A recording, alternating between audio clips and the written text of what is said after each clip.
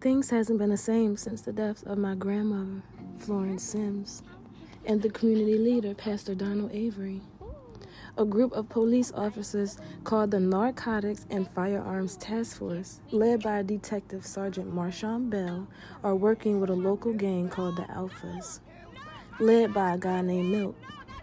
The Alphas are involved in drugs and sex trafficking, and thanks to Sergeant Bell, hmm, They are above the law.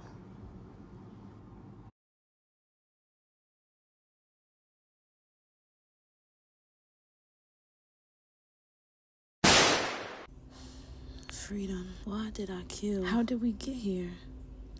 How did we get here? Everybody always asks, how did he get away with so much? What happened to my family? How did we get here? How did we get here? Freedom. Freedom. Why did I How kill? did we get here? Freedom. Why did I kill? How did we get here? How did we How did we How did we get here? Kill? How did we get here? How did we get here? How did we get here? Truth is, oh, it all started here.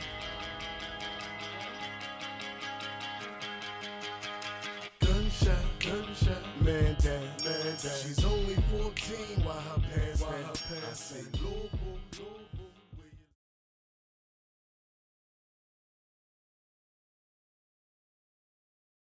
Evil's lurking everywhere, plotting on my derriere.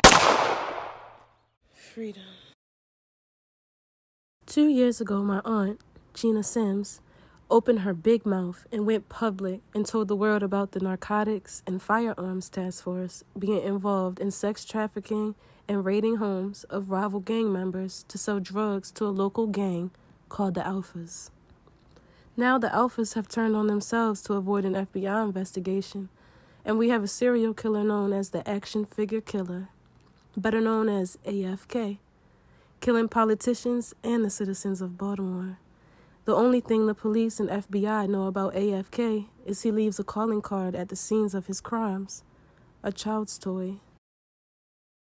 Evil's lurking everywhere, plotting on my derriere. All I need is you, Lord. All I need is you,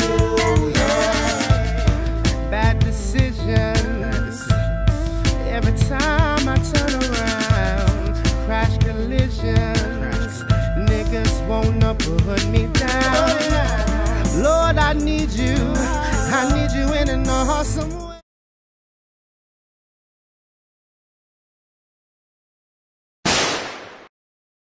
Freedom. Earlier this year, my kids and I had a beautiful destination wedding in Jamaica with my husband, Hakeem Andrews. But when we got back to Baltimore, I learned that his family's church is a cult. And Baltimore now has a water crisis thanks to the old pipes that were found with large amounts of lead and asbestos. Oh, yeah, the Ridgely Square community has a new serial killer that's called the Charm City Strangler. He killed teenage boys who be on a dirt bike or squeegee working and leaving their bodies in Leakin Park.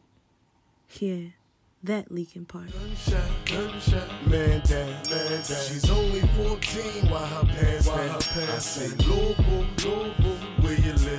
He never knew his father and he found his mother dead. Ooh, ooh, man, by the liquor store, stroking granddad. Why he sniffing? Why he sniffing? At the same time, say he got a nephew. Got a nephew. Dope boy that treat his uncle special. Oh.